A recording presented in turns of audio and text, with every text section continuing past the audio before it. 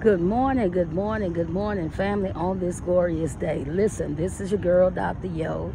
I just stopped by this morning just to say good morning. Have a glorious day. Listen, you have purpose. I'm excited about your purpose. You have to be excited about your purpose. Listen, God has created you so uniquely.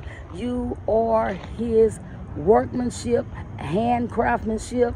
You are designed by Him. Listen, there is somebody out there that is waiting on you to walk in your purpose. Listen, you're without restraints, without limitations. How do I know that you are without restraints and limitations? Why? Because you are trusting the Father in your life. Good morning, Dr. Caddy. I just stopped by here just to give words of encouragement excite you, uplift you. Listen, let me tell you something. I'm cheering you on like I know what that you're cheering me on.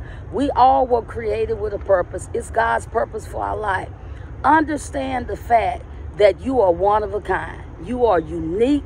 You are designed just for God to do the purpose that He have for your life. Listen, it doesn't matter how many people are doing the same thing. It's what? Only one of you it's only one of you that can do it the way that God has uniquely designed for your life.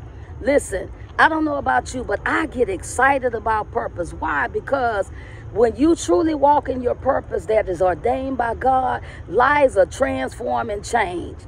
Or you one that changed the game in a person's life. Meaning, the things that they are going through, that they're facing, you may be the answer. Yes, God is the ultimate answer for all of us, but He has given us strategically purpose to be a blessing to another. So today I say unto you, my family, my friends, listen, my unmuzzled family, listen, walk in your purpose, on purpose, be intentionally intentional about what it is that God is having you to do. Listen, your life matters to God and your life matters to somebody else. Listen, we're not selfish in purpose. Why? Because at the end of the day, we want to see somebody's life change because what?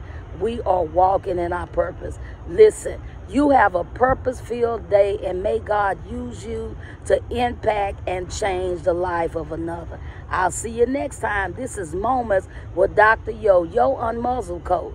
Listen, I'm telling you, I'm coaching myself to walk in purpose, believe in God that I will do every single thing that God has called me to do. Listen, I know I'm not the only one coaching on here.